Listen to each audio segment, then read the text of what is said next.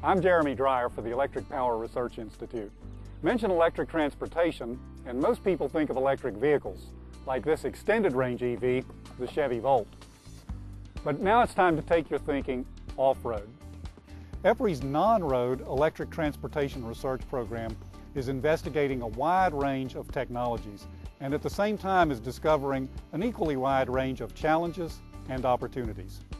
We ask our, all of our account managers working with customers whenever they see anything being lifted or pushed or carried, and whether it's products or people, then think twice about well, how is it being powered?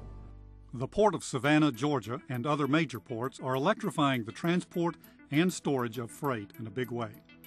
EPRI's non-road electric transportation program and local utilities are working together to better understand the costs and benefits and to transfer the technology to other locations and industries. The benefit has been tremendous. We've been able to eliminate over 4 million gallons of diesel fuel consumption for what we pay about 5000 per month per crane in electricity at today's diesel cost would cost us almost 35 to 40,000 dollars per month per crane.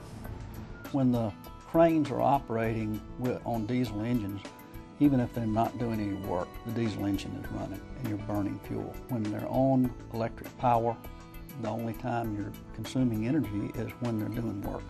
Thanks to electric power, the Port of Savannah Garden City Terminal has significantly reduced its maintenance costs and equipment downtime. And fortunately, it also had a great environmental impact. No diesel, no emissions. For refrigerated freight, ports rely on refrigerated storage containers or reefer racks. When the port converted its first set of reefer racks from diesel to electricity, it saved about 600,000 gallons of diesel. Stacking containers also saved space. My interest is electricity and their interest is productivity, but uh, we, we come up with uh, mutually beneficial solutions.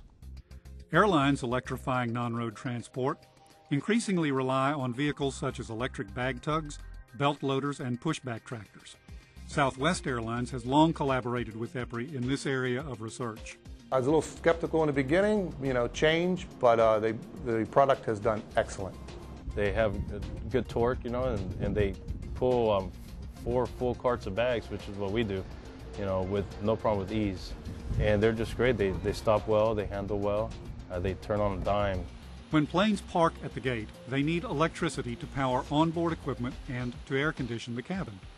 In many airports, Southwest now taps the grid for this instead of using a diesel generator or the plane's jet-fueled auxiliary power unit, or APU. For one plane, the airline saves about 34 to 42 gallons of fuel each hour. So it's a tremendous savings on it, and, and we're saving 50, 60 million dollars a year in fuel burn alone on minutes that that APU would have been running. From airports and ports to warehouses and factories, non-road electric vehicles deliver clean, quiet, vibration-free performance. Electric forklifts also have other benefits. An electric truck, uh, the way they're configured, uh, so can turn better in an aisle, smaller aisles than an IC truck, and uh, the customer can then be more efficient with their space. A car on the road will produce approximately 15,000 uh, the carbon footprint pounds of carbon dioxide in a year. An internal combustion forklift produces 35,000 pounds of carbon dioxide in a year.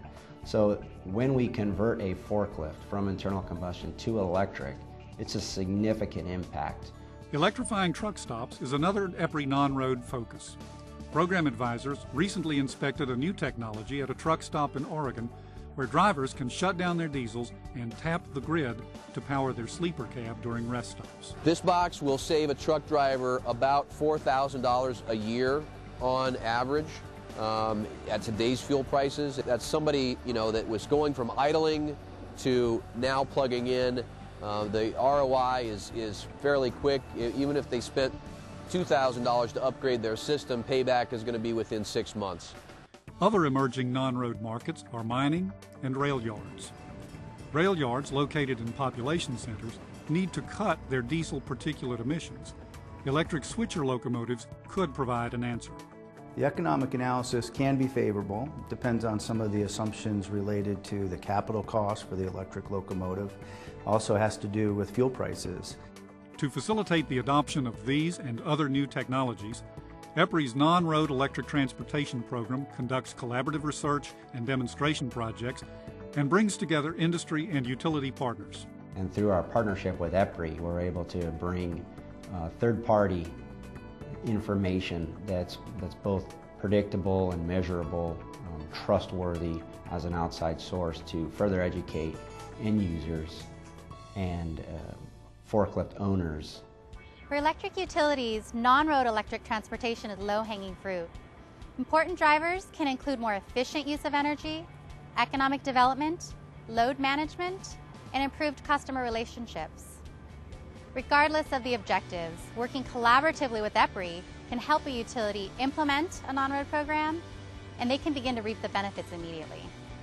The ability for us to focus on the, the new technology of, of on-road vehicles is actually being driven by our success in the non-road program. If a utility in our, of our size can make money doing this, then if you're a vertically integrated utility, then the sky's the limit. I would say to anyone considering uh, non-road electric transportation, it's a natural. It's, it's a must. It's, it's a requirement for your growth and opportunities.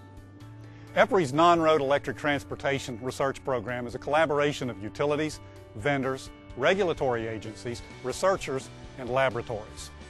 Electricity providers that want to better understand the potential for growth and benefits from non-road electric transportation can contact EPRI Project Manager Andra Rogers.